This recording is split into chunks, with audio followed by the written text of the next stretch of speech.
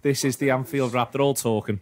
They're all talking about things that are irrelevant to football, ladies and gentlemen, because they've got lives and thoughts separate to the match. As Liverpool beat Stoke by two goals to one, I've got no idea how the managers have thoughts that are irrelevant to the match. Uh, Paul Cope, John Gibbons, Annie, and Salmon with you for the next hour or so. And the reason why, John, is it's. Uh, it's the sort of result you you uh, we, we did a we did a lot of pre-match stuff actually together me and you last week and you yeah, I was actually intrigued for someone who's really quite mild mannered about the football. Mild mannered is the wrong word. Someone who's quite balanced about the football. You wouldn't shut up about how big a game it was, and you actually had me on pins uh, by the end of all this. Like I was like, I thought it was a big game, but John's saying it's this big a game. Yeah, but imagine how much you enjoyed it because of that. Well, I, I was psyching you up. Well, exactly, and that was what I was about to say. That's why you end up on rooftop gardens. it's, John, it's probably only got bigger in the manner of the victory, to be honest with you, uh, because of because you know it it felt like everything by half time. It just felt like absolutely everything was going wrong. You can't put into it's hard to put into context exactly how big a three points that is. Yeah, if they'd have to put in context of, of how big a three points it is, you've got to think about well, what if we'd have lost? And if we'd have lost, it would have been all the insecurities, all the negativities and all the all the genuine issues around this football team kind of coming to roost really problems with the squad issues around kind of decision making around around the team defensive frailties the fact that you can't go somewhere like Stoke who've you know on form one of the worst teams in the league at the moment and you can't go there and win you know, I, I didn't realise we hadn't won a away game in 2017. Imagine how highly strung I would have been if I'd known that. so, so it would have been all, all the kind of all the problems coming to roost. And, um, you know, there's hours at the game and people were saying half time, we can forget about top four now. And there's other people saying, well, they don't even look like they, they, they wanted, they bothered about top four type thing. And, and so to come away with, with that win, it just, it feels like anything's well, not quite anything's possible now, but you feel like you can believe that we can go on a run between now and the, the end of the season. Where I think if they'd have lost that, you know, you're looking at West Brom the next week and thinking, well, you know, they're not going to get anything from it. And you're looking at sort of other games after that and thinking, well, are there enough games you know, winnable games for this Liverpool side to get enough points to get it. But now you feel like, you know, that the Liverpool can go unbeaten for the rest of the season. Ian, it's all that I completely agree with him that John's just said there, but also the uh, other thing is also the Bournemouth disappointment. It's yeah. the, the, the the way in which the Bournemouth game finished. The felt the fact that it felt like a backward step. There was also the pressure of everyone else's fixtures. I mean, we were recording this before Arsenal played Palace, but you you do wonder whether or not it's a weekend where no one misses out or where one side misses out. And I was thinking, I remember thinking at half time, we're going to be the one side this weekend. We're going to be the ones that slip up. Everyone else is going to be all right. Whereas now there's a ton of pressure on Arsenal tonight against Crystal Palace. I think we've we've really ramped that up on them. All of this just turned that second half performance into one that really could end up being the turning point of the season. Oh, oh, completely. After, I mean, after Everton, the Bournemouth, the idea that we could take apart Everton in the manner that we did, a team that's actually been playing really well, and we could dismantle them and show they had absolutely nothing they could challenge us with. For us then to turn up against Bournemouth and shoot ourselves in the foot for the millionth time. I was saying the morning after the Bournemouth game, I feel like we've not been defending that goal since the Souness era, at, the, at the very, very least, possibly longer. But it's the same goal we've been not dealing with for absolute decades. Doesn't matter who the manager is, doesn't matter who the players are, doesn't matter which fans are behind them. We've never been able to, to defend that goal. So we do it to ourselves against Bournemouth. And then we basically do it to ourselves again at Stoke. And we look like this, this is a script. We are just shooting ourselves in the foot. We're proving what everyone says and then you get that second half, and it is. It's. I wasn't hyping it before. I was just kind of like, I'm not even thinking about Stoke. I don't want to think about West Brom at all. But this is the kind of second half that shows the narratives don't matter because if you can inject quality from the bench, you can change a game. And we changed the game quite brilliantly. Lots of things we got wrong in the first half, but that's the other narrative. The narrative the Klopp doesn't learn from his mistakes and the Klopp will make mistakes. Well, Klopp looked and went, we changed this and we changed it brilliantly. And it, it does feel, it feels this very moment like once again we can do anything we want. We're on that moment where Klopp's yelling at the linesman, no one can beat us. Although obviously everything went very badly after the last time we had that moment. But this, this feels right now. This feels like we turned. Um, it felt to me very looking back on it, and more more so sort of when I was thinking back on it, well, I rewatched the game, watched the highlights. Uh, Paul Cope. It it was all very very Benitez sort of back end of a season. this is my path through this game. I mean, Benitez, but you know, very we're going to get to sixty at nil nil, and then I'm going to then I'm going to change it, and we're going to win the game. You know, there's there's a ton of these that there's been historically the biggest, the, the, the most clear one is 0809 Portsmouth when he picks a mad shape, he picks a mad team. That was in January, even late end of January, because everyone's legs are falling off then and he does all that, and we win three two, and there's loads of people moaning after the game after we won three two with the last minute winner, and went Ra- top of the league, and went top of the league, rather than going, we won, we got the we got the win, we found we found the route, but it does it very much remind more than more than any manager since Rafa and more than Klopp has so far seemed like Benitez. It did all seem very very Benitez. These are my boys to get me at nil nil to sixty, and then I'm going to bring the class on. Yeah, it's it's ironic really because I, I one of my uncles came to the Bournemouth game with me and we were having a, we were having a Klopp versus Benitez conversation on the way out, which I which I had to cut short because I told him we only had twenty minutes and I, I didn't have time to get into. I didn't have time to get into his Benitez's defensive and rubbish argument. But uh, the point I was making was because he said, "Do you not love watching this type of footy?" And I said, "Yeah, I, I like watching us win mainly, and I, I, I could do with us winning the league in a bit." really quickly and uh, just get back to winning generally trophies and stuff and he was his point was basically well i'd just rather watch this type of footy and I said, well, I just, I disagree. I, I just, I, obviously, if you can have the dream of, and Chelsea have been searching for this for years, haven't they? You have the dream of amazing footy and you win all the time. Well, we'll all obviously take that, but there's very few footy fans have ever had that over the years. And and the thing that Rafa had, which which we we sort of touched on, but we've we've talked about at length in in these rooms in the past, is the ability to just to win a game. And when you've got you know great players talking about tactics and and him being a great tactician and being able to win any game. And you think back to the squads he had. Yeah, it was. It was. It was actually. It was interesting that Klopp then had that game immediately after me having that conversation, which is a very long and rambling way of me saying that. But it was. I, I don't know. I when I saw the team, I was. I saw. I saw. I actually saw a Ben Jono tweet after the match that he'd sent before, where he was saying, "I'm made up with that team." But I, when I saw it, I wasn't thinking, "Oh well, this is this is Benitez, and, and we're gonna we'll get through this. Especially after five or ten minutes, when you're watching it, thinking it's just all really disjointed. Yeah, it, it wasn't, and I think that's where the sort of clash between a Klopp and a Benitez is. Is that they looked like a load of lads to me who had been thrown together in a system, yeah. and yeah. no one really had a clue what they were doing. Whereas with a Benitez type manager or a Mourinho type manager, you always seem to get that impression that when they switch, when they change their shape, when they do something a bit mad, the players are still going yeah, we, we know what we know what we have to do in yeah. this sort of shape. I didn't mind the team too much. I was I was surprised. I was a bit well, but I was like, oh well, let's see how how we'll go here. I think the problem was he just he tried to change too much. So it was an unfamiliar formation with a few kids thrown in, and people just being asked to do kind of things that they're not used to. Like one of the worst performers first half I thought was Nathaniel Klein. Yeah. And so normally you'd think, well, he's someone you can rely on in the madness, but he's you're asking him to play left wing back. I don't think he's he looked like he never played there before. And he was just sort of the problem with moving someone from the right side to the left side in that system is if you do it in a 4-4-2, do you think, oh, I'll just play it safe and I'll just sort of I can play me left back and I'll and I'll, and I'll try and win me battle and I'll and I'll kind of pass it inside, but for you to then say, well, you know, you need to do it as a wing back, it's it's it's kind of like, well, you know, we're going to put you on the wrong side and we want you to attack more. And he was he was just kind of flustered around the whole thing, and and you know, you're throwing James Milner in midfield for I think the first time this season, certainly for a start, and I don't think Wijnaldum was quite sure what. What, what he was being asked to do either. So the, the, the problem was was wasn't just the kind of changes. It was just so many that even the lads you think you know you mentioned those teams you know you know, you you can make free changes or whatever. You can bring kind of free kids in or whatever if if you've got the people you can hold your hat on. And there was almost no one. You know, that's the, that's before we even get into the back three and, and kind of how confused they seem to be. And so everyone everyone's head just seemed a bit kettled really. And there was no one apart from maybe Emre Can going. Do you know what, lads? It's all right. I'll I'll we'll I'll get you through this. You know, we, we'll play well, and then you can just do something on top. And that's why I felt really sorry for the young lads because, you know, I mean to throw Ben Woodburn in and ask him to, to knit a midfield and attack that's a midfield which doesn't seem to know what they're doing and an attack that's Divock Reed. He's just dead hard, yeah. dead hard for to ask a young kid to do. I think um, when I saw the when I saw the players, I was shocked by how he he picked their positions. Because yeah. something we've talked about in the past is he's actually he's he's actually sort of gone away from his mean on this. What he usually does is he moves as few people as he can out of the position they usually play. So so he'll go he'll start and go work backwards.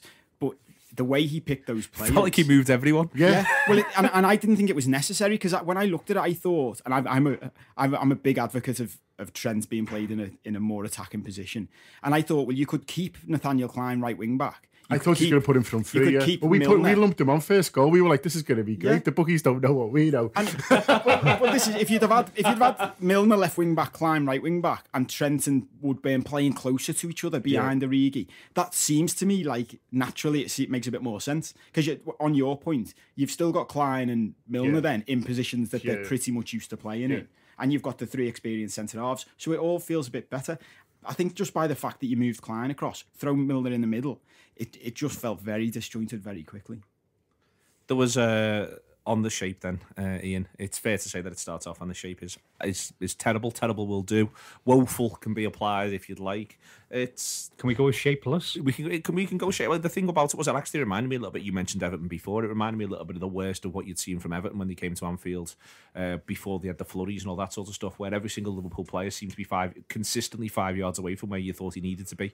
They were all starting from the wrong starting position. They're not quite getting there. Coming off second best quite consistently. No intensity because they couldn't get any intensity up because every single time you tried to do something, you were in the wrong place. I mean, it, you know, you can. I think. I think you can.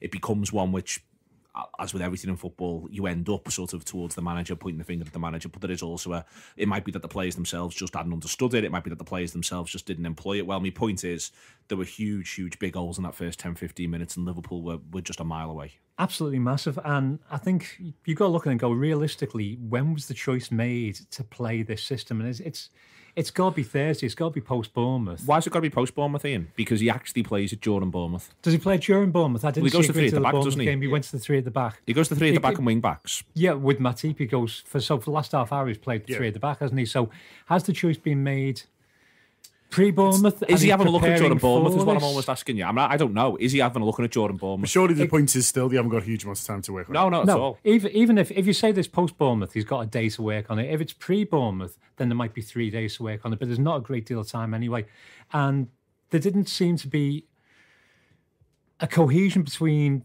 the idea of what formation we're playing. Because one, one of Klopp's big things, and the, the points I've, I've loved going back to all season, is this idea that he says you only see our formation when we're defending, and the rest of the game should be flexible.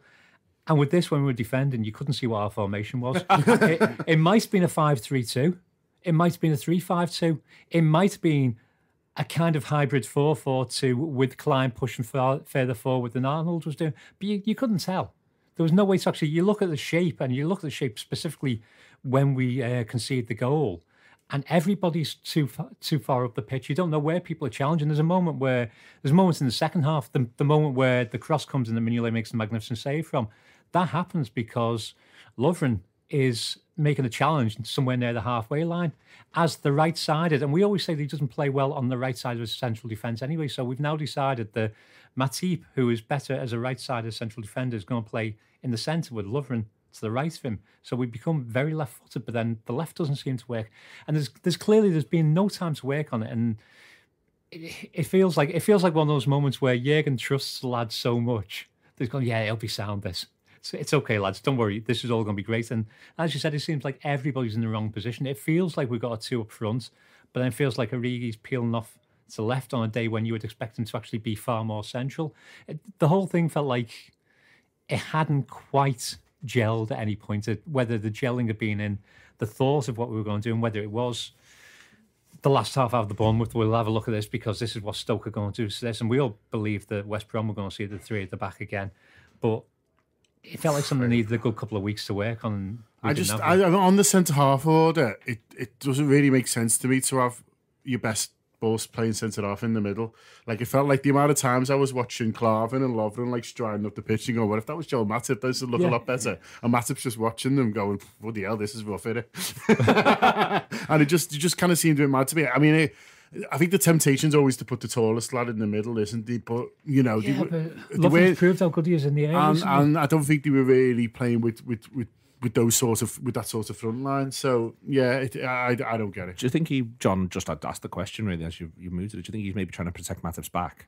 There could be an element so that, yeah, you know what? If, if I put him, if I put him on the sides, Walters plays on Walters plays there.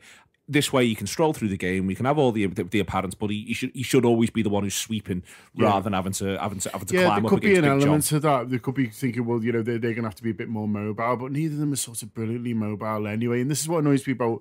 I, I feel like you get kind of vogue formations to come in, and, and, and Chelsea since Chelsea started winning a three in the back, I think everyone's had to go with it, haven't they? Like everyone in I the think we're the last League. side now, basically. Yeah, basically Uh, everyone's oh, had to maybe go with it because Chelsea are winning at it, and it's not like it's not the formation that's winning games. They've just found a formula that that works, that suits their players, and it, it suits you know the centre halves. It suits the likes of Victor Moses, who you wouldn't pick as a fullback, but you know as a wing back, it kind of it really suits him, and I think you know that's what. Annoys, I don't understand about football managers is that they'll go well. Well, that's working for Chelsea. Look at them flying. Maybe, maybe, maybe we'll have a bit of a go without seemingly any any kind of context in terms of well, have we got the players that are suited to play that formation? Because it seems to me kind of ev- evidently we don't. I mean, if you're going to play if you're going to play three four three or whatever it ends up being, then we'll give Albi Moreno a go. Then do you know what I mean? If you if you're going to say.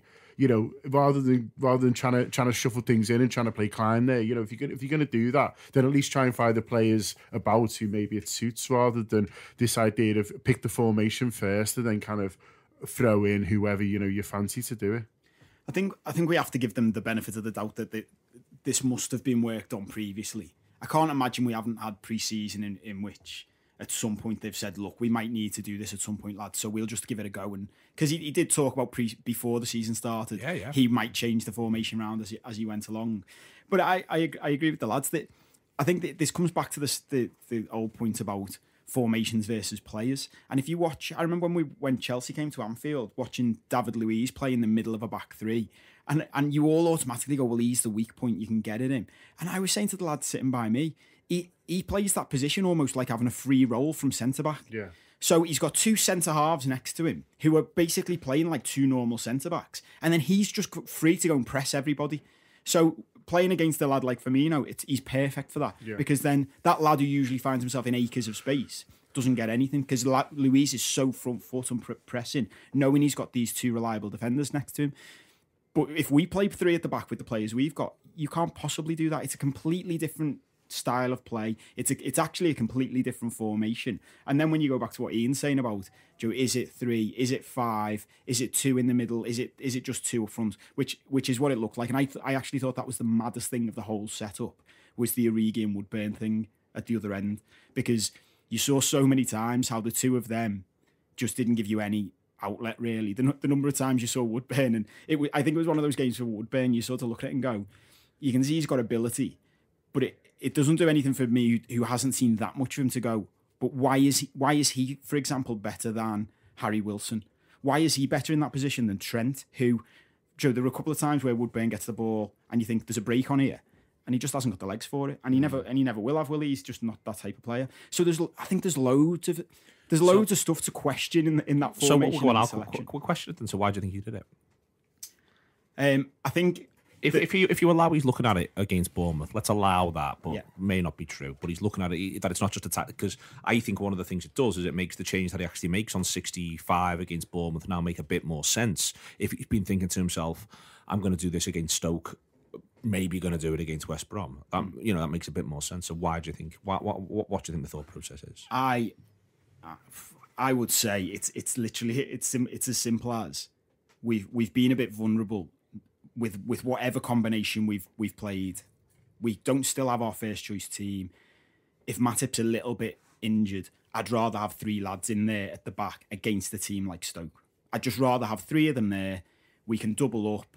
There's they're going to have the aerial threat. We the thing is about Stoke, you know exactly what they're going to do things change over the years, but going to Stoke is is a, is pretty constant.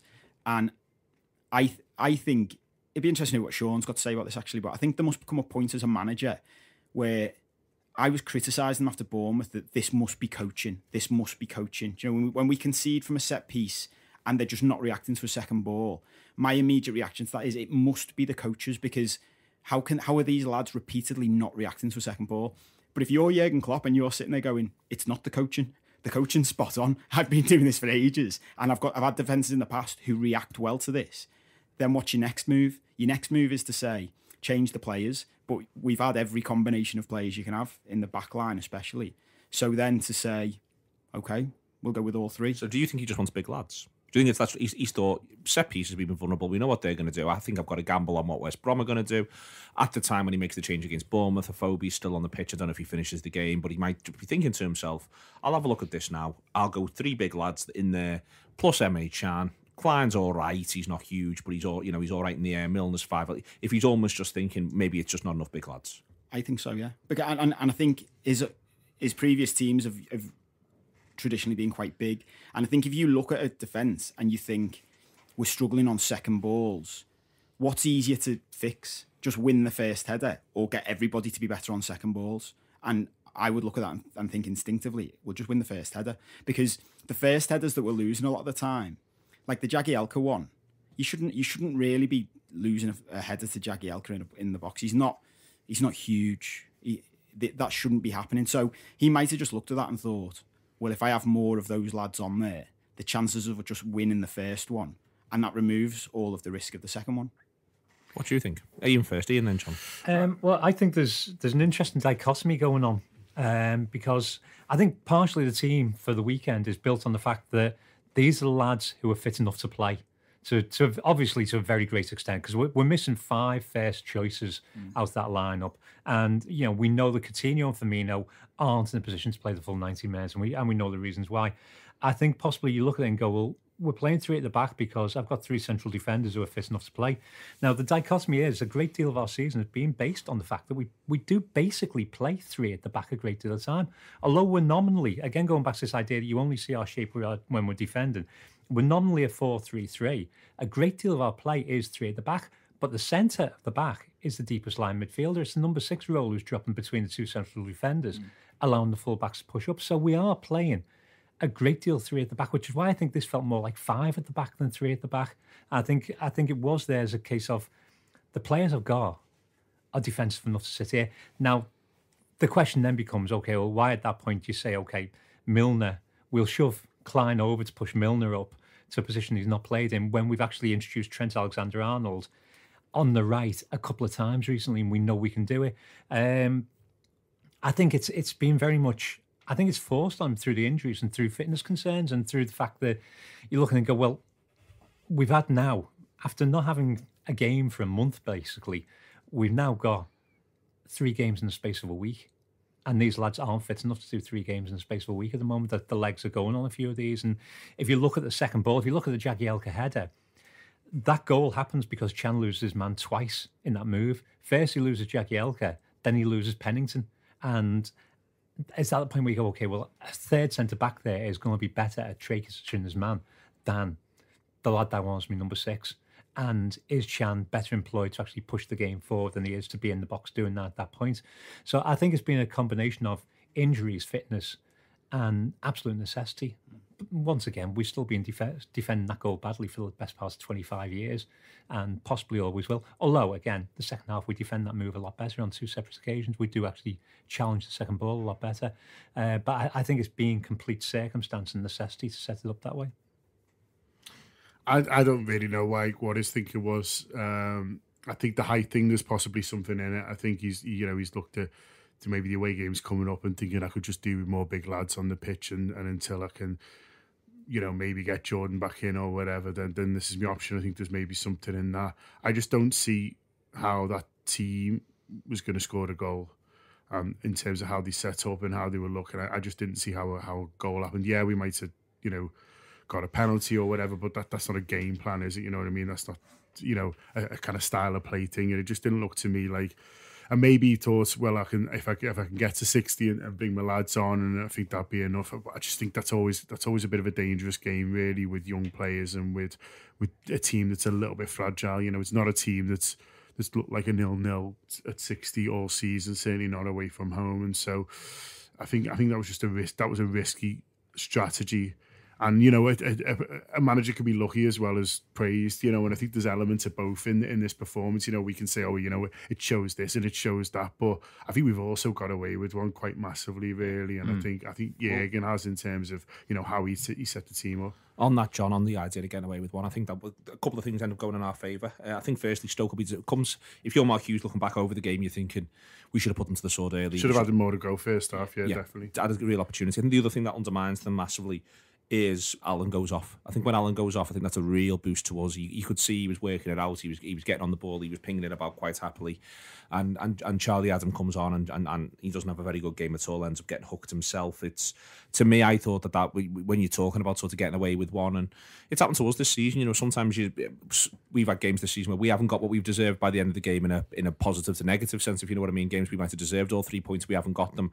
If you are Stoke, you are sort of coming out of that game at the end, and yes, Liverpool finished strongly, and we'll come on to talk about that. But you are thinking we should have just got out of sight there first half. Yeah, that's what they'll be thinking, and I think they'll, they'll probably think they could have pushed themselves harder. I mean I think sometimes it's it's harder for for the team who's who's low in confidence a little bit, and you know they're playing against Liverpool and thinking playing against a big team to just realise instead of 15, 20 minutes in, I go, we've got much the better of it here. We should be kind of pushing on, pushing on because you've always got the mindset of a how you're playing in your own form, which has been very poor for Stoke, but also in terms of we're playing against Liverpool and you play against the shirt as much and the reputation as much as the kind of what's in front of you, really. So I think there was an element of that. I think they treated Liverpool with maybe a little bit too much respect in terms of what kind of what they were getting back. But you know, they might they might look at the two big chances. The other Mignolet saves, and I'm sure we'll come on to the Mignolet saves are absolutely brilliant. But I would say eight times out of ten for both of them, if you hit them that hard on target, they go in from where mm. they did, and that's what they'll be thinking. You know, I'll I'll, I'll praise the saves because they're absolutely brilliant, and he gives himself every chance. Mignolet on both of them, and and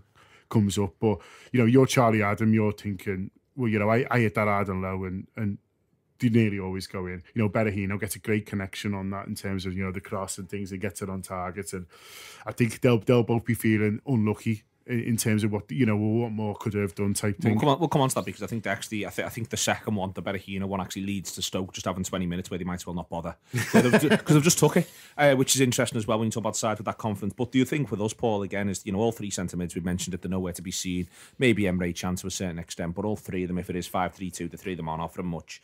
The movement, uh, terrible, and confidence and belief sort of through the floor as the game's wearing on there in that first half of Liverpool. And again, it shows shows a number of things. I think it's, an, it's a hangover from the Bournemouth results. It's the fact that things aren't going very well. And then it goes on to show that the manager's had a hell of a half time. Yeah, it I, it was really weird watching it out because I'd, I'd been the races Thursday and Friday, and, and that first half was one of those games that you watch when you're hungover and you're like, I, I just can't be bothered with this. It's it's awful. And you t- I know we, we talk about Joe Allen leaving the pitch, but I couldn't believe how much of that first half was literally played at walking pace by both sides. There were times when literally we had like Emre Can on the ball and he was just standing still in the middle of the pitch with the ball at his feet. And he just look around. And then, and, and I think in uh, it's sort of in defence of, of our lads to a certain degree. If you've gone out in that team away at Stoke and you're thinking, well, we know what the plan is here. The plan is get to 60 and then our big boys come on and win us the game well, if you're sta- if you're able to stand in the middle of Stokes pitch with the ball at your feet and no one's coming near you, I'd take that. If I'm Emre Can, I'd just stand there, and because because what's he going to do to force it from there? It's it was a really bizarre game. I saw um, Tony Barrett tweet it. You know, it was like a it was like an end end of season yeah. um, game or like a testimonial. Was it was it really hot? Were you there? It was warm, yeah. So it it, it, it, lo- it, looked like it had that look of it of mm. everyone's a bit tired and it's a bit warm to be yeah. sprinting. Third game in a today. week. Yeah. But it's funny you say about the bench as well because I, I think even if it's not the plan, and I doubt I doubt Jurgen's going in and saying, right lads, we're getting to 16. I doubt he's actually saying that. But even if it's not, it must be on the back of the minds yeah. of the players. Yeah. Like you know, he's saying Emre Can, he's thinking we just need to get through this, and then them boss lads are going to come on. And even if you're Origi, he's yeah, backing himself in the minute. Yeah, the one thing you're thinking is, I'm running channels here to soften them up because he's going to bring these lads on. Yeah, yeah. Or, or I'm going to get the cavalry, and then we're going to play together, and, and, that, and that's going to be the time when I come alive. And I think there was a, a, general lack of trust in each other first half as well that kind of contributed to, to the poor performance from Liverpool. I thought it couldn't stick on Woodburn. I actually thought Woodburn grew into the half and he has that decent run where he wins a couple of tackles. And but I thought he grew into it, but first 20, it just wouldn't stick with him. And I had a look at how many passes he, he completed in the game, and I think it was 10 or 11 and in the first half. And it, it felt like lower than that to me. I was surprised it was that high because it, it's, it felt to me like every time he got the ball, he lost it. And I think that was partly because he didn't have any options, and it was partly because he was just getting kind of bullied off it. But you saw a reluctance to to go in and join him Uh, to give him options or to go and join him from the likes of Wijnaldum and Can. And maybe, you know, you say, oh, you just got to keep doing it anyway. But I think it's it's natural. If you're a midfielder who's a bit worried about your defence and Woodburn gets the ball, are you going to run forward 10 yards and give him an option or you've just seen him lose it twice and they were hanging back and hanging back. So it kind of, it became, it was a problem that became even worse by the fact that his, his teammates just weren't helping him out. But they weren't helping him out because they were thinking, well, I'm going to run up to the pitch and he's going to lose it. And so, that became that became a kind of a, a, real issue for us, kind of as a, as a football team in terms of there wasn't so much trust. Where as soon as Coutinho and Firmino came on, they were like, "Well, I can run forward and I'll get the ball." And that's just that's just an attitude change that comes from having a better footballer there and having a footballer there. That, and also there's understanding and things like that. You think, well, if I make that run, I know he's fine with me. Whereas I don't know about this Ben Woodburn, and so there's a there's a bit of kind of understanding as well. But I think it's also I think they'd had a little looking towards we need to play a bit safe here, and they were far too safe. And that's where I felt a bit sorry for Trent because you've seen his delivery, but he looks up and he's just got Divock there, not really moving, and you know it was it, it was it was very tough for him. Yeah, you, you see that moment um, very early on where Woodburn makes that run where he never quite digs it out of his feet, yeah. and all of a sudden he's got five Stoke shirts around him. But Origi stays to the left. He doesn't pull in. He doesn't pull in for any possibility of getting a loose ball. He, he stays for a wide ball, which is never ever going to be on. There, yeah. There's no way that ball is yeah. coming out to you on that wing from that position ever. So the sensible run is to go inside. But talking on the subject of the bench, wouldn't you think that the the team talk beforehand would be, see these two lads here, they're smart, but they're absolutely fucking buggered. Yeah. I don't want to play them. So we're not going to try and get to 60 and then I'm going to bring the cavalry on. I'd like these to have a day off if it's all possible, lads. Please go out and win the game without them. And here's, here's Daniel. These three are just here to scare the shit out of Stoke. And that's all they're here for, in the hope that we don't actually need them. So, in terms of we'll try and keep it tight and then bring these on to win the game for us, it, you would think that's a, the last thing that they'd be thinking. Yeah, I, am not. I don't know. I'm not convinced about that because it when you put that team out on the pitch away at Stoke, I think it's maybe different if you're playing at home. But I don't think I don't think Trent and like Ben Woodburn are looking at each other going, "Well, we'll we'll just win this. Yeah, we'll just beat Stoke away. That's what we'll do." Especially when, like, I, John said this earlier. Like, if you drop those two lads into the team, that, team the way it's been flying lately, and you go, "Right, we're just going to win." they go, great, okay, yeah, I'll just do my thing. But when Ben Woodburn's getting the ball into his feet and he's looking up and there's no one within 20 yards of him because James Milner's forgotten how to play centre mid because he hasn't played there for ages. And when Wijnaldum's doing a bit of that, I'm not sure what I'm going to do, meant to be doing here today, boss and he's stuck on the just, like that. I was screaming at the telly. Yeah, that, that, that like, one when he runs through, he wins the two tackles and he's running. And it, I, I would love to sit down with Origi in the video and go, "What was going through your head? Why weren't you making a mad, di- not even a, just a diagonal at full pelt and screaming at him, saying, "Just put me in." This is this is my thing about Origi, and I, I think. I, yeah, I know he, he, sort of proved me a little bit wrong last couple of games because he look he's looked good again, but I've just got that concern with him that it's just not all there, and that that for me is just your typical like one of us playing footy, watching a lad who's doing something boss, he's and going, right there. That's good. That. but the worst, thing, well, the worst thing about it is that Woodburn loses it, and then he get up to, gets up and apologizes to Reedy yeah. just because he's a kid and he's nice, and yeah. he's just like, well, I'm a bit new, so I better I better say sorry for losing that. Whereas he should have been like, where do you any hopes? I couldn't honestly. I, I, would love to go. Go on, just tell me, just tell me what you were thinking. You're a centre forward for the, you know, you are a centre forward. You should actually be screaming at that lad to say, yeah. "You're 17 and you're not that fast. I'm a centre forward. I'm the senior player. Pass me the ball so I, I think can he's got himself into space, and then because he's still in space, he's thought, "Well, I've still got loads of space over there." Ignore the fact that no one's, no one's asked about that any, any the pitch anymore because there's a kid running right through the middle. But I think he's like, "I'm in acres here. What's going on?" the only thing big that, switch. the only thing that might make sense actually is I was saying, Joe, his, his special move, Joe, they Phil special move with it, Joe. Yeah, you, you, do the uh, Ellen right buttons, left yeah. and right buttons, and all that, and he puts it in the top corner. Yeah. Origi's is from the left hand side of the box, isn't it? Where he so steps inside. Thinking. So he's thinking, just give it to me here. Yeah. I don't need to get into the into the pen spot. I start here. I carry it twenty yards, and then I'll just put it far put corner, corner for you. Yeah. You wait and see. Um, play to my strengths, you. Uh, oh, it's so frustrating. Listen, the second half, then you can see the stupidly soft goal, Liverpool, and it is such a soft goal. Everybody basically stinks. It's like I feel like Lovren's been taught somewhere where you stay on your six yard and there's your edge of your six yard book from across. so he's like got to his point. He went, Well, I'll stand here.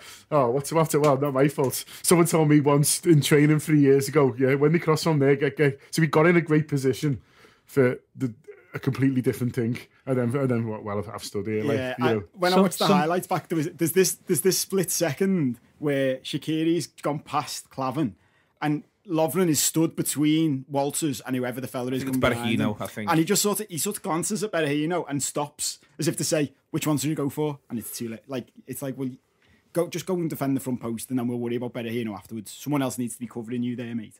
Someone on Twitter was defending Lovren by saying that he was anticipating the rebound. No, I that, hey, I that, that was that was as optimistic as things get. I don't know I who think, he, it I was, think he is split. I think he does He have is. split, but but, He but there is a there is a clear answer, which is the lad who's three yards away from the goal. Yeah, Yeah. Him. If Go you if, him. yeah, Like, if he doesn't get it, that's probably ideal. Yeah. And then if the lad behind him gets it, then maybe someone just has to charge at him. I don't know. Um, But, but also, Matip doesn't come out of this with any glory because I the ball goes in, well, he actually moves his body backwards away from the ball. So as the cross goes in, so watch it three or four times this morning. Obviously, Klein gets skinned by Shaqiri. no, I'd then- say Klavan. was it Klavan? No, Cla- Klein gets done Klein's first. Oh, okay, so Then- we then- apologise. There's another lad to slaughter. Klein gets done first, then Klavan misses it completely, and then as um, as Shaqiri put kills the ball in, Matip kind of half jumps, but th- this is this makes for lousy radio.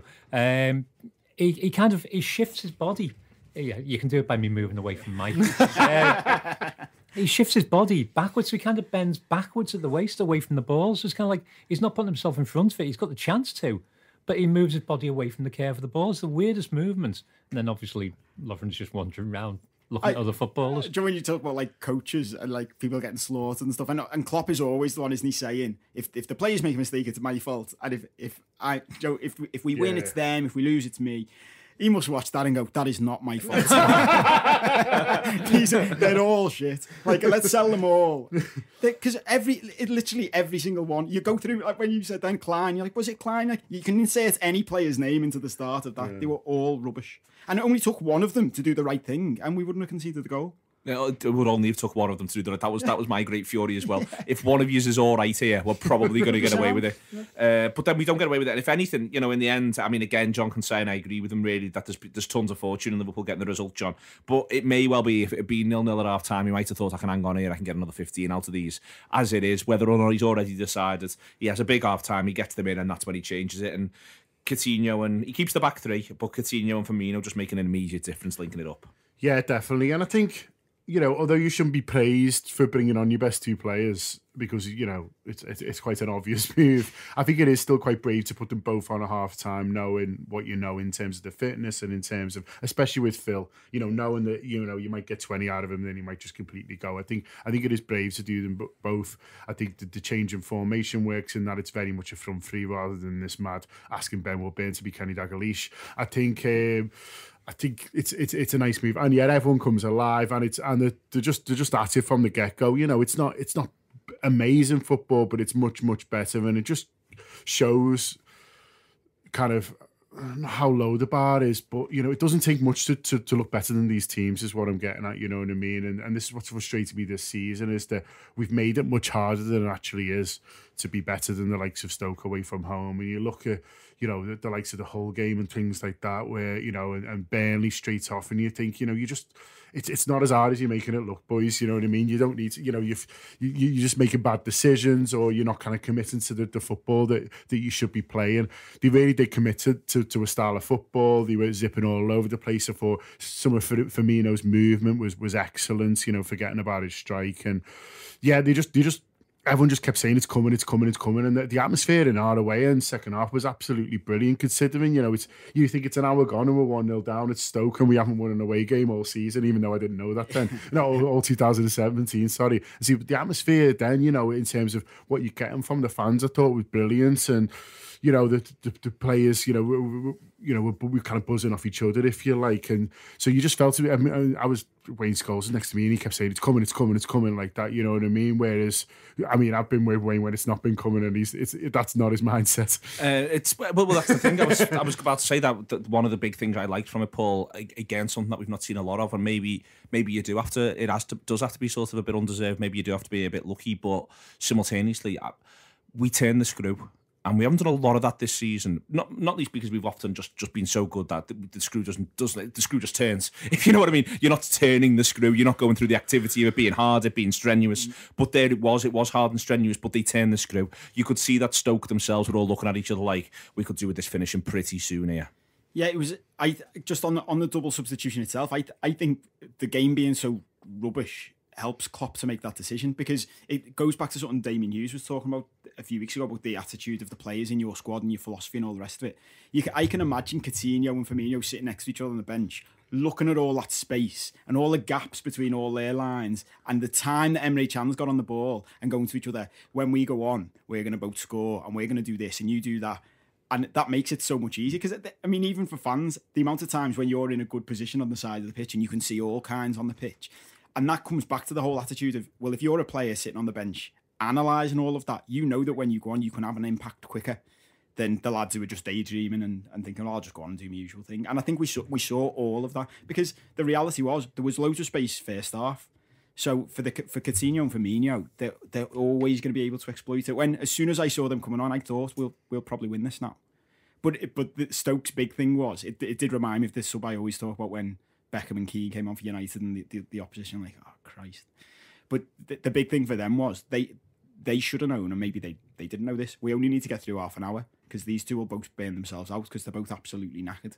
And they, they, well, I suppose it goes back to your point as well about they they were probably well, a bit unlucky, weren't they? No, they did they, they didn't get we didn't put them out of sight in that little spell.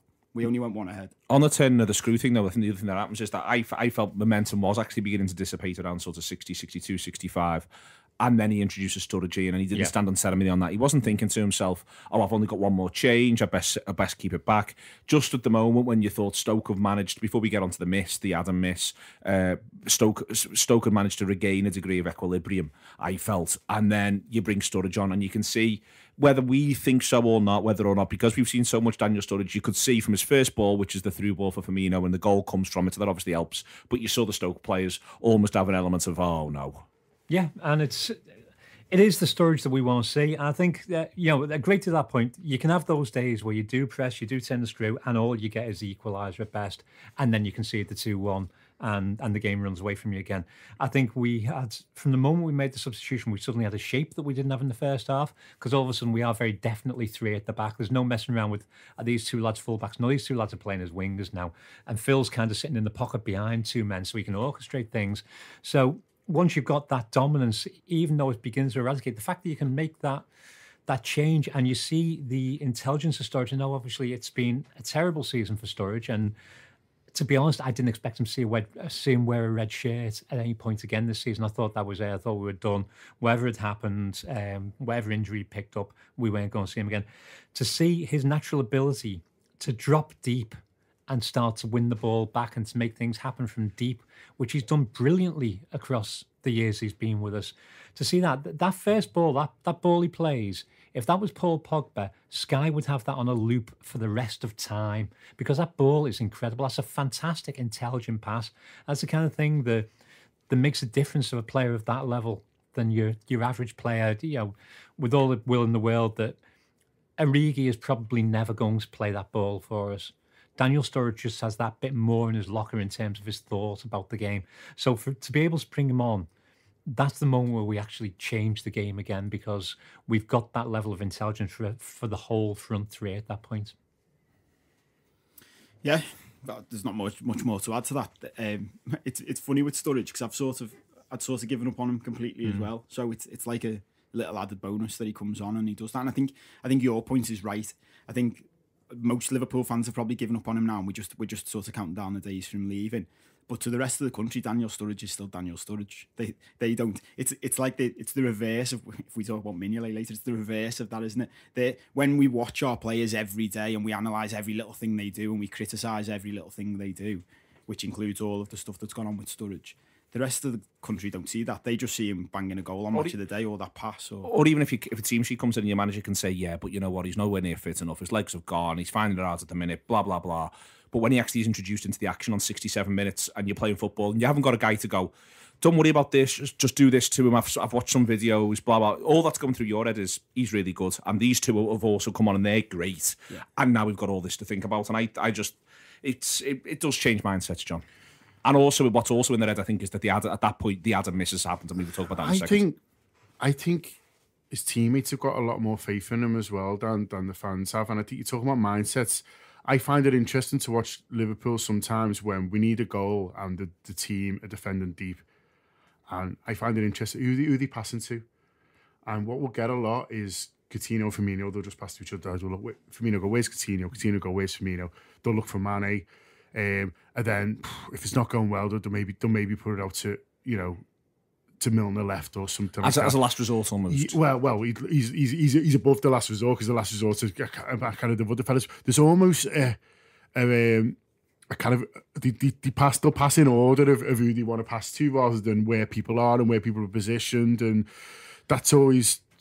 I've found that interesting watching them because you think, well, you, you're limiting yourselves here, and I understand why they do it because you know they, they, they think, well, who's who, who's got us out of this in the past and things like that, and they they, they, they'll ignore one or two players, and they were starting to sort of swerve at Eg. I thought at that point because it, it wasn't happening for him. You know, I thought I feel sorry for him first half, but even second half when we were playing a little bit better, he, you know, a couple of times where he gets an opportunity to put a good cross on and and just kind of hits the man really, really lazily and lazy is not the right way, but you know what I mean. It's not even it's not even zipped into him. Um, you know, he's not had to do a lot to block it, and I think they were just sort of giving up on him, and so but Sturridge will get him on the ball, and I think that's that's quite an interesting thing to, to, to view. So it's almost another attacking player. It, it- you know that's I know you mean, yeah, yeah. It's another fella they feel like, well, I can get him, and he, and he's going to do something good with it. And so it's a it's another one the best players trust. And I think I think that was the main contribution that the Sturridge made. You know, and I'm, I'm really impressed with him for the first goal as well, not just because of the the pass that.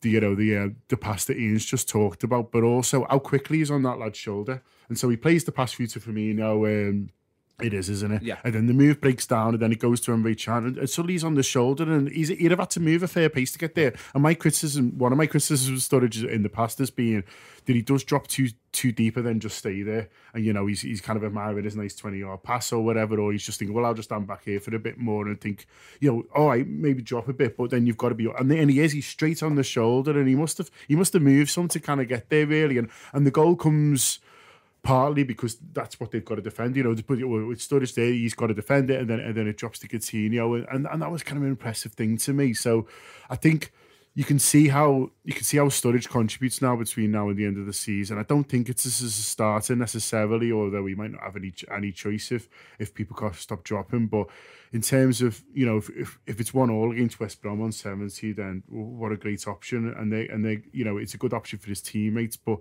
But it was funny because as soon as we went 2 1, he was sort of useless.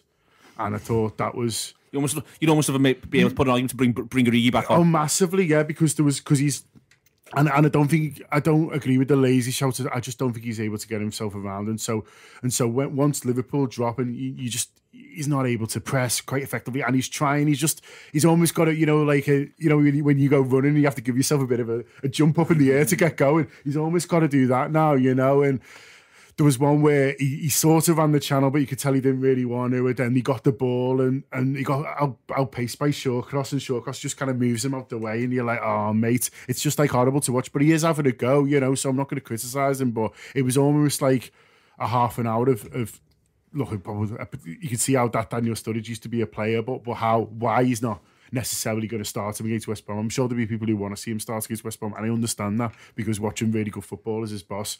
But you know that that last ten minutes, it was it was sort of playing with ten. And and it was it was quite kind of hard to watch really for someone who um, who really likes Danny and enjoyed the little cameo. If you if you know you're going to be on top, you want him on the pitch. Yeah, if you're not going to be on top, Yeah. you're thinking he's not going to help us get on top. Yeah, yeah, That's the yeah. problem with him at the minute. You, you, you don't see how, you don't see the journey towards Sturridge getting you on top in the game.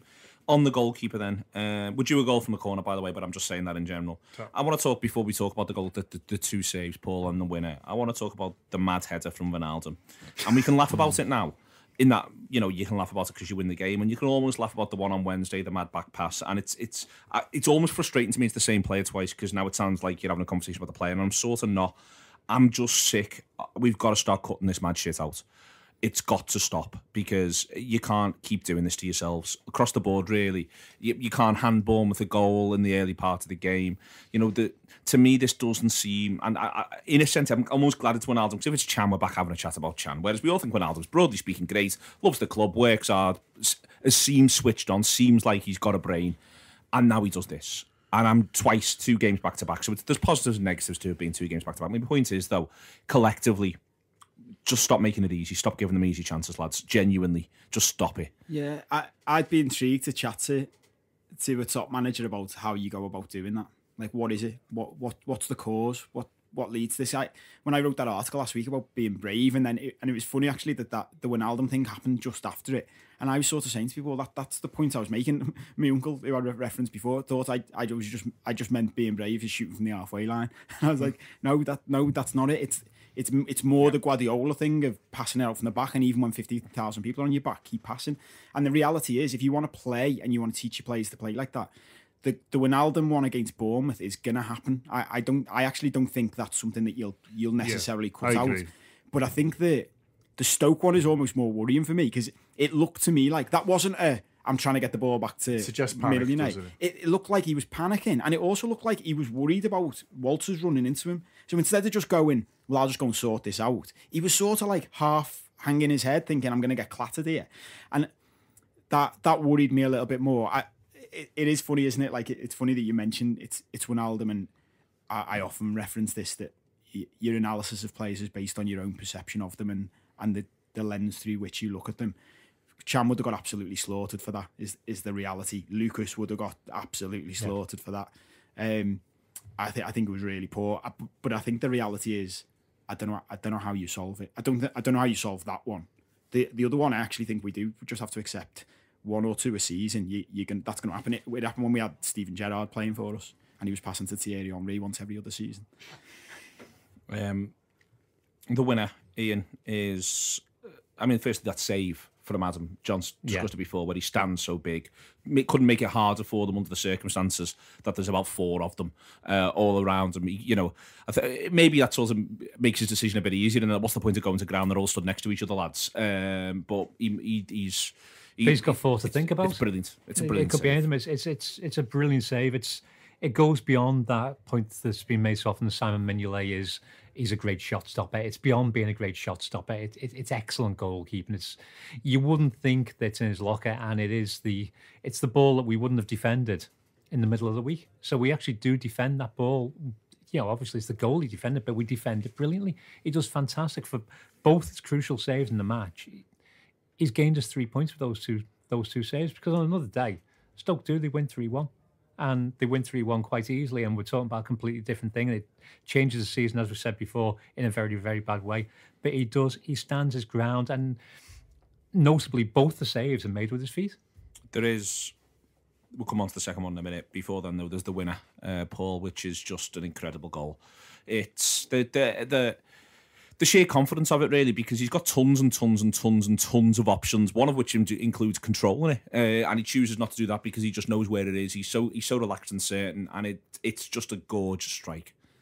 Yeah, it's it's one of them, isn't it? Like that that the view that someone's got from behind, where when Alden you see the pass and then you see the end erupt, is phenomenal, and I I absolutely love for me, you know, his his celebration. I love the fact that he's been booked more than anyone else in Europe for exuberant celebrations. I think that's that's the type of lad you want in your team. He should just carry on doing that forever.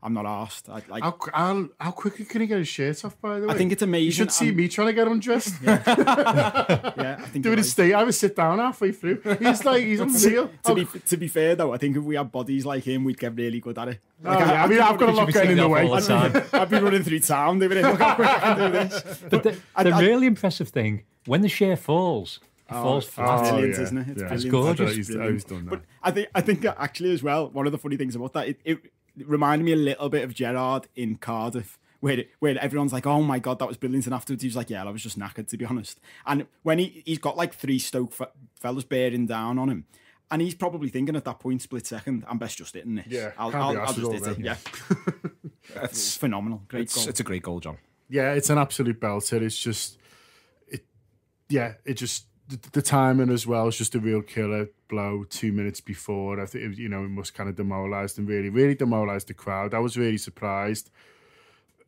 actually, how how how much the crowd gave up after that. And I think you know you, you say they're in bad form and whatever, but you know you look at the arguments that Klopp's had with our ground for, for staying and things like that, and you think it's oh it's it's a Liverpool problem. I'd, I'd say on 90 minutes when that fourth thing went up, I, I would be surprised if that ground was a third full. And it's and it's mad when you think about Stoke and the reputation they've got against the home fans and things like that. You know, I was like, there's no one here. There's no one left. I was like, we're gonna get a great, we're gonna get away brilliant here because every- because everyone's gone. And I was like, you know, it's just and you think I'm not even going with Stoke fans necessarily because you know you got, got to walk a mile in the shoes and all that, but you know, I was I was shocked to, to, to think, you know, looking around, thinking, well, surely they think they can get something out of this because you know, have you seen us defend? But you know, they they just kind of given up really, and I think a big part of that was the, was the second goal and, and how he hits it, and I think I think the manner of goals sometimes can deflate fans as much as as much as the goal itself. I think the timing, but also the fact that they must have looked at it and feel, well, he's well better than anyone we've got. Uh, I think I, I come back to you on that, John. I think uh, you actually look. We go. We, we go to. We, we, we go one one uh, through Coutinho. We've done the Sturridge introduction. Firmino does that. You're right, and it's like uh, it would that that that it reminds him. Well, it's not actually dissimilar to the Vardy one uh, last season against when we went to Leicester. And I I remember I've always said that's the most demoralised I've been by a goal in about ten years Yeah. because I'm just looking at it going. Well, we're not going to score now, and he's just done that, and Yeah. that feels like cheating. That feels like it shouldn't, be, should, just shouldn't be allowed. That that, that they've got someone who can do that, whereas we've been messing about for ages, not and going nowhere. There's that, but I think the next thing, John, is then the save from Berahino. Yeah. the save from Berahino happens. So all these these three thing, things happen in six six seven minutes. And if you do support Stoke, we've all been football supporters. We've all sat there and we've all had this moment with our head in our hands, going, you know what, we might as well just get off here. What's the point? Yeah, because it's almost the, the, the, the thing about the saves. Well, look, it's a brilliant save, but quite often they'll just go in anyway. Like if it hits the keeper, like the fact that the, the trajectory it takes, it's a bit like the Dudek one in the in the final. In that the trajectory it takes after it hits him is actually a bit mad. Like, why does it go over there? Yeah. Do you know what I mean? And so, so they must be kind of thinking, oh, what, you know, you you're half celebrating those, aren't you? And you know, Berahino's a, a decent striker, and so I think there was an element to that, but that really helped us because it, it allowed us after the the Berahino manners to actually see out the game all right. And I think that's something that they'll benefit from as well. You're looking at things to move forward from from this game and and things that hopefully help. And I think the fact that at least for the last sort of five six minutes, you know, it was it was relatively instant free. I think will I think will help them in terms of you know just belief moving forward. The other thing I, I thought as well when you're referring to last 15 in this Ian is I think that Klein, Can and Wijnaldum end the game really strongly. And I mean by that, in terms of the touch, in terms of the quality, but also physically. I thought the three of them ended the game looking like looking comfortable, like the fittest lads on the pitch. Yeah. Uh, and I think that that was one of the things that helped Liverpool see it out was they were up against this Stoke side. They could have come under some sort of pressure, but you never really felt like they had a physical. you- They they had no physical move against the Reds by that point. You could just see all of those lads were stronger than their alter, than than their opposite numbers. Yeah, and, and I think notably Can has been he's been very notable for that last few games because he is showing a great deal more of himself lately. He's becoming that much more physical player and seems to be embracing the responsibility. As as Henderson did when he was playing alongside Gerrard. Without Gerrard, Henderson embraced responsibility. I think Can's doing the same thing. Can I just go back to the goal for a second as well? course. Um, I honest to God didn't know that Firmino had that in his locker. I've seen him score plenty of good goals. I love him. I think he's a really good footballer. I didn't think he had that in his locker. It's the first Suarez esque moment we've had since Suarez left. And it was one that you would expect Suarez hit that ball and you would celebrate because it's a world class goal. And it was it was still a world class goal. And yet that obviously demoralises Stoke. But we do, as you said, we do end up we're winning the physical battles all over the field all of a sudden we look like a team and we've always said that we we would pride ourselves on being fitter than everybody else but we're beginning to look at as the season goes along we're beginning to look like in those last few minutes we can hold out we're learning we're definitely learning and that as john says one of the positives to take from it the fact that we closed that game out at that point um, we close it out. We see that we do the business. We could do with a couple more of these between now and the end of the campaign, Paul. What I mean by that is Stoke are in a bit of a funny place. They were demoralised. We took advantage of it. We were a bit lucky, like John says. They get to say it's not really been our day. We get to say we don't care whose day it is. We've got the three points.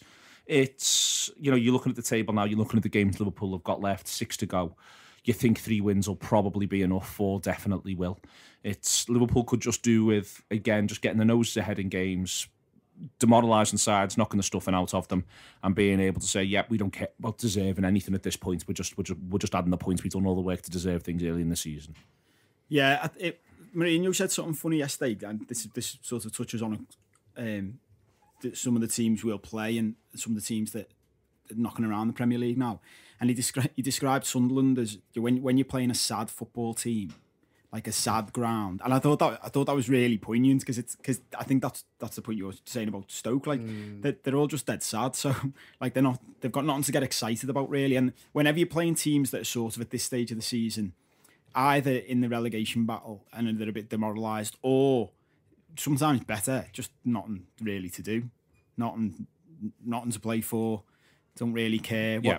what does it matter? And and that's where with half an hour left they're, they're the points. It's like when you, if you're training yourself or you're in a run or whatever, and you're like, when you're knackered, that's when it takes that extra bit of effort to go, well, I'll close him down here instead of just standing still. When you're a fan in the ground with half an hour left, if you're losing 2 1, their keeper's just made a couple of good saves. That's when actually you you should be picking yourself to go, no, we'll we'll do this. And that we see that even at Anfield with mm. you know, in a big game, everyone will do that. Come on, we've just gone behind, but we'll keep supporting them. But when you're just playing it's the sixth sixth and last game of the season. You West Brom. How bothered are you? And I, and I think that is it's really important then for us to to be dominant and to be aggressive early on because you can then start blowing teams away. I think, and and you'll get to half time even where they just think we're not we're not interested in this it's a chance for us. I mentioned the Palace game before, John. We could do with obviously them dropping points this evening. It'd be very, very helpful. Also, it was interesting post match to go through the top four stuff. Guardiola said uh, on his match of the day interview, he said uh, he thinks it'll go to the last game. You know, he's he's saying City are now very much in this with us, which for the last few weeks I've been getting a bit annoyed actually the way in which it's been talked about that it's United, Arsenal, or Liverpool for the remaining top four spot. I've been thinking, hang on, we, we're, we're ahead of these lads. um, we're literally ahead of them if you rank the teams and the number of points. Currently, we've got more. Yes, they've got the game in hand, but the game in hand against Man United. It, it's the stage of the season where you know everything just goes game to game. West Brom will probably want to stick one on Liverpool. That's something that you come up against at this point. But I agree with Paul in that if you can get on top of them, you can you can do something, and also that we can get a bit of rest in these lads now as well. Yeah, I think the week off will be really, really good for the players. Certainly for you know the likes of Firmino, Coutinho, who were kind of on the lazzies really. Um, you know, you might even get one back. I mean, wouldn't that be brilliant to, to, hear, hear middle of the week, oh, you know, with Jordan's in contention or something like that? I think that'd be great. But bit of time to work on it. If he, if he does want to stay free at the back, it gives him more time to kind of work. And I think they'll they'll enjoy the training this week. I think you know the, the sun's still shining in Liverpool, and I think they'll they'll they'll be enjoying each other's company because they've had a half full win. And you see it on the on the, the Twitter and things like that. You know they, they, they enjoyed it at the weekend, and you see the reactions after the game. You know it was a it was it was a big clap with the fans and things like that. So I think I think this week between the games will help. I think they'll go to West Brom with confidence, and and it's a sort of West Brom who more and more are having less to play for, really. As you say, they want to put on one on a big team. I'm, you know, they really enjoyed that win at Arsenal and they've got a decent record. But that, I think that Southampton loss maybe takes the wind out the sails a little bit and maybe gets them kind of drifting towards a little bit to, towards kind of no man's land in the league. And so I'm, I'm, I'm confident going there. And I think as, as, as, as Copey says about, about the attitude, if you go there and in the face and stuff, and I think they, I think they could play really well. Yeah, I think it's um, it's a similar game. I think the fact that we've just done Stoke, Stoke and West Brom on the bounce is a good way to have those two fixtures. Yeah, because you can, you know exactly what you're facing. You know that you're going to go there. You're going to face a very similar tactic. You know that it's going to be a battle, and you know that you've just battled. And as John said, yeah, they're going to train this week with a bit of a spring in the step because they pulled that one out of the bag. You, you know, you've got to take that as a this, this is a momentum builder. If if you don't mentally, if you don't take that as a momentum builder, you've missed out completely. And they, they, they, know that they've done something decent there and they can repeat it. Okay, a huge thank you to Ian Salmon, Paul Cope, and John Gibbons. The the season rattles on for the Reds. Uh, still so much to play for right the way through. If you want to join us on the Anfield Wrap uh, with all of the premium shows, uh, the Wrap.com forward slash subscribe to listen to an extra 10 or shows, shows and all the stuff that we've done in the past, the interviews and all that, you can get that there. That's the AnfieldWrap.com forward slash subscribe. It would help if I could talk whilst I was trying to sell the product. uh, but we take the strengths and weaknesses and we uh, we move from there. Uh, very quickly, your man of the match, actually. Um, Paul Cope. Uh, Simon Mignolet. And I'm, I'm, i want to do another show this week where we have an in-depth discussion about how bemused I am by people still thinking after that game we should sell Simon Mignolet to buy some mythical, perfect goalkeeper that doesn't exist. Okay, John Gibbons. Yeah, it's Mignolet, but just a shout for Emre Can, who I thought was the only decent player first half and played well second as well. In, Ian. Can't argue with Mignolet. Won us the won us the points there. Uh, thanks to everyone. That's the Anfield wrap.